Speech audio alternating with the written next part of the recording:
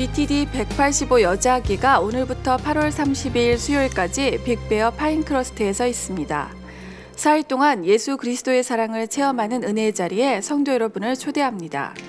계속 등록해 주시고 candidate과 팀 멤버를 위해 중보 기도해 주시기 바랍니다. 어와나 가을 학기가 9월 8일부터 개강합니다. 등록은 2부 3부 예배 후 본당 로비에서 접수를 받습니다.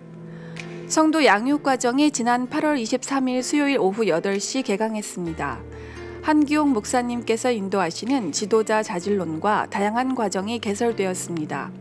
2017년 마지막 양육 과정입니다.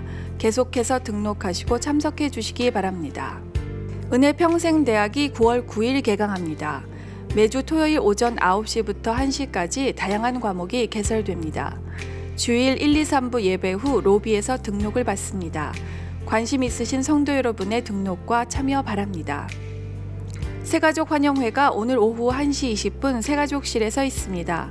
7월과 8월에 오신 새가족 여러분들은 모두 참석하셔서 담임 목사님과 교제 나누시는 시간 되시기 바랍니다. 전도국에서 매월 네 번째 주일 1부 예배 후 WMC 5층 브리핑룸에서 각 그룹 전도부장 모임을 갖습니다. 오늘 오후 2시 30분 노방 전도를 합니다. 성도 여러분들께서도 함께 하셔서 전도의 열매 맺는 여러분 되시기 바랍니다.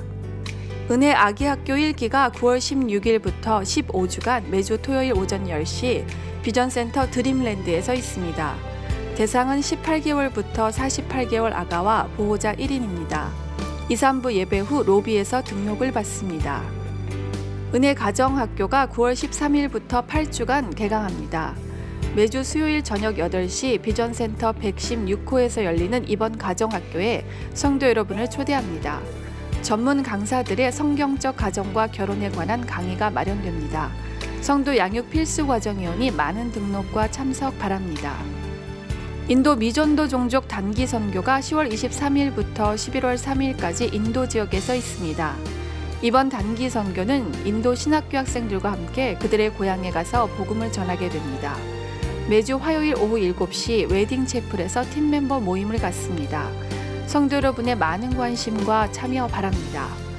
교우 소식과 자세한 내용은 교회 홈페이지와 주보를 참조해 주시기 바랍니다. 이상 은혜 소식이었습니다.